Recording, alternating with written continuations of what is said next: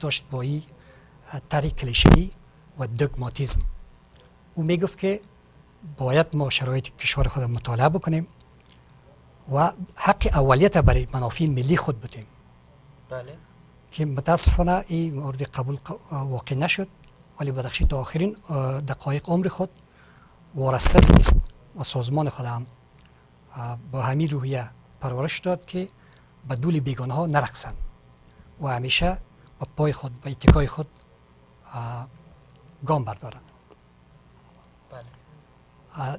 دیگه از خصوصیاتی که بدخشی مطرح کردن مسئله جبهه بود مرحوم بدخشی معتقد بود که هیچ چیز به سیاسی و تنهایی نمی‌تونه در کشور کارا باشه و کاری از پیش ببره بنا به خصوصیات قبیلوی تعدد زبان ها و موقعیت های جغرافیایی.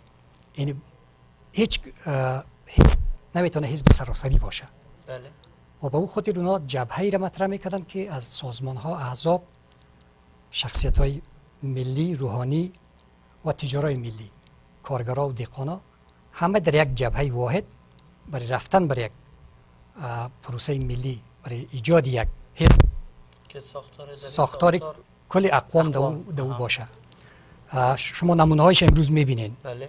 که ما می‌بینیم مثلا با همه ای که شعار شعارها مطرح بود که انترناسیونالیسم اسلامی انترناسیونالیسم پرولتری اما در مابین وقتی که در صحنه عمل آمد بله. هر کس به قوم قبیله خود رفت مثلا نمونتا ما می‌تونیم یادوار یادوار شیم که جمعیت اسلامی و حزب اسلامی که هر دو یک ایدئولوژی معین داشتن اما در لجنزار مسائل قومی فرو افتیدن و مسائل کلی را فراموش کردن. یا در جنای چپ حزب دموکراتیک خلق و پرچم و خلق که در آخرین تحلیل که اینا قبول نداشتن مسائل ملی را خودشان بلا جنزار مسائل قومی فرو افتیدن و هر کس از قوم و قبیله خود حمایه کردن و حتی با جنایات و جنگ انجامیدی پروسه. دیگه بدخشی کاملا آگاهانه مسائل مطرح کرده بود و پیشبین بود که نمیت یک فجایی در جامعه ما رخ میده و برای جلوگیری از این باید ما یک مکانیزم بله. جستجو بکنیم. که مکانیزم؟ امی طرح ایجادی جبهه بود. که جبهه در انقلابات دیگر کشورها هم مثلا در ویتنام جبهه بود. حزب نبود. و مسئله سوم سیاست عدم عدم دنبال روی بله بله. بدخشی معتقد به بود که ما در قضای کشور نباید جانب این کشور یا او کشور بگیریم. یا نسخه از پیش تدوین شده یک کشور ما در کشور خود بدون در نظر, در نظر داشت شرایط عینی و اجتماعی جامعه ما رو تطبیق بکنیم. یعنی به شکل کلیشه.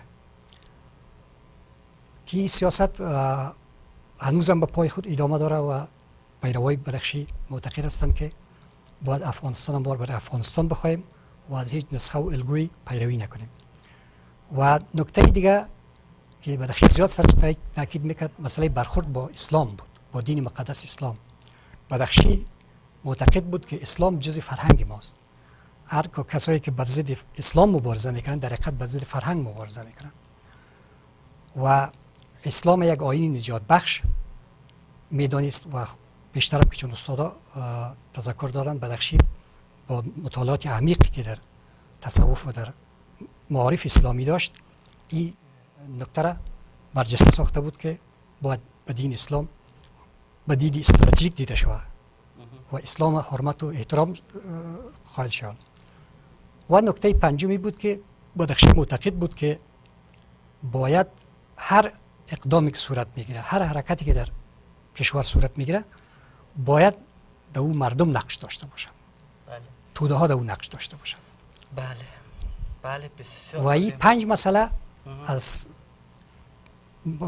از نکته ها و طرحهای خاص بدخشی بود که سازمان بدخشی را و طرح اندیشه بدخشی را از دیگر سازمان ها بله. جدا می ساخت بله. خب ممنون شما. ما به اجازه شما امی آثار که از مرحوم بدخشی به جا مانده چون وقت ما به پایان رسید یک بار خلاصه مرور کنیم برش. تذکره لعل بدخشان تاریخ خرخه مبارک اشعار شعرهای بدخشان تحلیل در آفریده های شاه عبدالله امگی بدخشی چند قدر اشک داستانگونه تاریخ ادبیات تخارستان زادگاه اصلی مرزا عبدالقادر بیدل تاریخ معاصر افغانستان آریا و آریابازی و اشتراک شادروان محمد علم رشنو مسئله ملی و اشتراکی های انتیکی در افغانستان ده سال تجربه و عمل خاطرات زندگی در دوازده مجله. و همچنان جناب استاد باختری از سراج الاطفال یاد بله، کردن که در این لیست نامده. خب جناب آقای حافظی ممنون از شما که امشب واقعا ما از شما و از دو استاد بزرگوار مطالب ارزشمند شنیدیم. انشالله که باشد بازم در یک فرصت دیگر برنامه دیگری برای بزرگداشت مرحوم بدخشی برگزار بکنیم. ما همچنان در پایان برنامه می‌خواهیم که مراتب تسلیت خودم را به همکار عزیز گرامی خانم فوزجان اورال حبیبی به نسبت وفات خواهر گرامیشان پیشکش کنم و از خداوند منان برشان صبر جمیل بخواهم. و همچنان به روز شنبه چرای آشنا میزبان آقای دکتر حسن اخلاق جنابشان در رابطه با کنفرانس گفتگوی تمدن ها در واشنگتن مهمان هستند. در ملل متحد سخنرانی داشتن و قرار است که روز شنبه ساعت 11 و نیم صبح به وقت کالیفرنیا تا ساعت یک با ما برنامه داشته باشند. از شما یک دنیا ممنون. ما هم از شما زیاد تشکر می‌کنیم. سپاس می‌کنیم که از بینندای محترم که اگر خلال صحبت های ما کدام سکتگی وارد شده باشم معذرت می‌خوایم چون از راه دور آمدیم. نه ممنون شما. مریض بودیم صحبت کردین. تشکر. سپاس می‌کنم از دو استاد گرانمایه ما استاد واصف باختری استاد سمندر غوریانی که نکات بسیار بله. زیبا و پرمفهوم ارائه کردن. روانی بدخشی بزرگوار شاد می‌خوایم و روایش صادقتر و بله. رهروتر در راه اندیش های بدخشی.